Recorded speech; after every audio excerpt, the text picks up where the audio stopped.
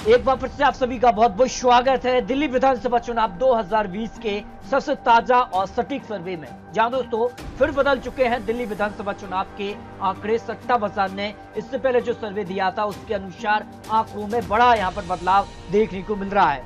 क्या कहता है सट्टा बाज़ार और ओपिनियन पोल? क्या दिल्ली में अब बार कुछ नया देखने को मिलेगा? या फिर आम आदमी पार्टी ने जो नया यहाँ पर नारा दिया है, अच्छे होंगे, पाँच साल लगे रहो केजरीवाल। इससे पहले आम आदमी पार्टी ने जो नारा दिया था, उसमें था कि अच्छे बीते पाँच साल, लगे रहो केजरीवाल, लेकिन बड़ा बदलाव यहाँ पर किया गया है। एक क्यों किया गया है? इसके पीछे क्या बड़ी वजह सामने आ रही है? ये तो आने वाला समय ही बताएगा कि आम आदमी पार्टी की सरकार बनेगी या फिर बीजेपी जो दावा कर रही है कि 50 सीटें अब की बार उनकी सरकार में आने वाली है, उनकी सरकार बनने जा रही है। लेकिन आम आदमी पार्टी ने दस गारंटी योजना के तहत और घोषणा पत्र में कई ऐसी योजनाएँ डाल दी हैं। जिसके बलबूते वो सरकार में वापसी कर सकते हैं और जिस प्रकार की रैलियाँ कर रहे हैं और जनसंख्या उमड़ रही है, उससे साफ़ तौर पर ज़ाहिर है कि आम आदमी पार्टी एक बार फिर से सरकार बन सकती है।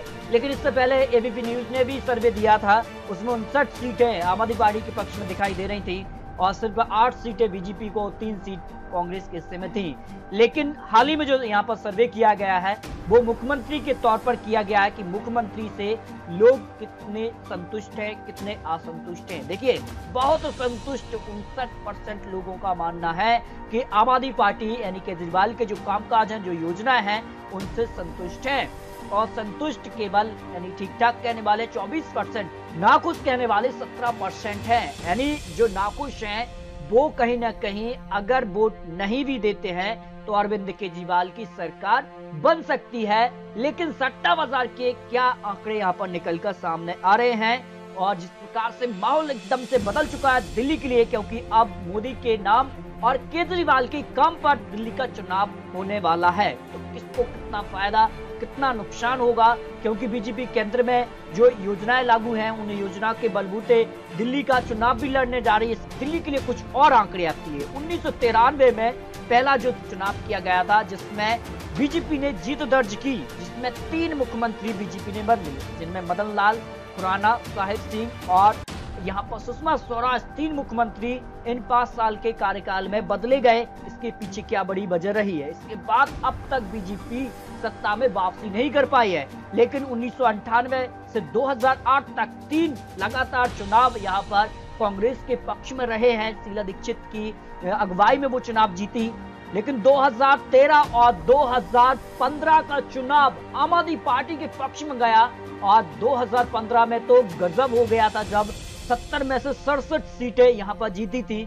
इतनी सीटें हमारी पार्टी को किसी भी ओपिनियन पोल ने नहीं दिखाई थी। लेकिन कई ऐसे और भी चुनाव होते हैं जिनमें ओपन एंड पोल सट्टा बाज़ार के जो आंकड़े हैं, वो सटीक बैठ जाते हैं। तो क्या कहता है, दिल्ली के लिए सबसे सटीक और ताज़ा सट्टा बाज़ार के आंकड़े और इससे पहले जो आंकड़े हैं, वो भी बीजेपी को चिंता में डाल सकते हैं। इससे पहले पाँच जो विधानसभा चुनाव हुए हैं अब तक, उनमें पाँचों में बीजेपी को नुकसान हुआ है। अगर बात करें तो मध्य प्रदेश, छत्तीसगढ़, राजस्थान और महाराष्ट्र में हालाँकि थोड़ा सा पलड़ा कुछ यहाँ पर फिर बदल देखने को मिला, जिसके कारण बीजेपी सरकार नहीं बना पाई और झारखंड में बीजेपी को नुकसान हुआ है। लेकिन इन पाँच राज्यों से एक तस्वीर निकल कर आ रही है, वो है सत्ता परिवर्तन। क्या सत्ता परिवर्तन दिल्ली में देखने को मिलेगा?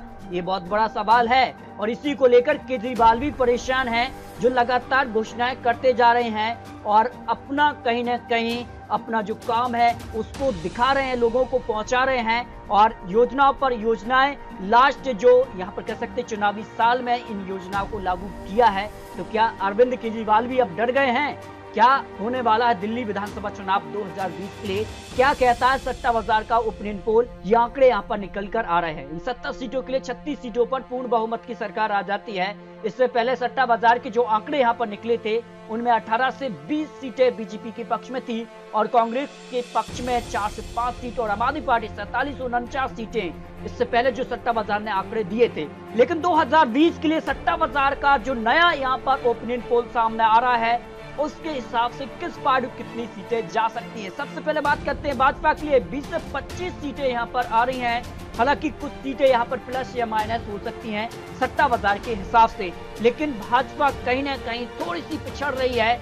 अगर हालात ठीक हुए, चुनावी प्रचार सब कुछ ठीक होता है, और आखिर में जो घोषणा पत्र बीजेपी जारी करने वाली है एक दो दिन के अंदर, उसमें कहीं ना कहीं जो योजना है और केजरीवाल से भारी योजनाएँ अगर बीजेपी ला दे, और तो कुछ नया देखने को भी मिल सकता है, आंकड़े बदल भी सकते हैं। और कांग्रेस के हिस्से में 204 सीटें आ रही हैं कांग्रेस को ज़्यादा नुकसान नहीं हो रहा है और ना ज़्यादा फ़ायदा। लेकिन आबादी पार्टी बयालीस उनचास सीटें अब तक आ रही हैं।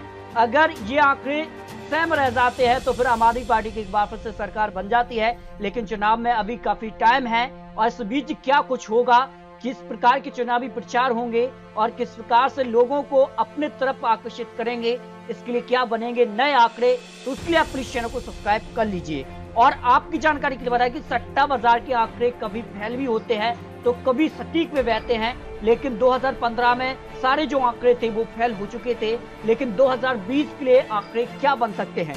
आपके हिसाब से दिल्ली में अब की बार किसकी सरकार सीटें किस पार्टी को जा सकती हैं? क्या आम आदमी पार्टी एक बार फिर से सरकार बनाएगी, या 22 साल से सूखी बीजेपी एक बार फिर से सत्ता में वापसी करेगी, या फिर कांग्रेस कुछ नया यहाँ पर करके अपनी सरकार वापसी कर पाएगी। तो अपनी राय कमेंट बॉक्स में दीजिए अब की बार किसकी सरकार, दिल्ली में कौन बनेगा मुख्यमंत्री और किसको कितनी सीटें जा सकती हैं?